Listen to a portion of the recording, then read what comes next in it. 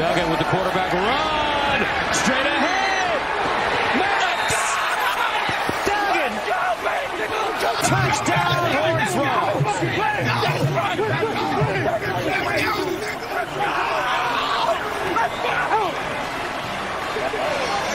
TCU comes right back down the field.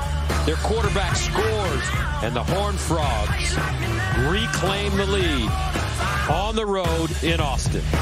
33-29. Wow! Holy cow, what a play. Garrett Wallow, number 30, is the one that knocked it out. There's a fumble recovered by the defense. First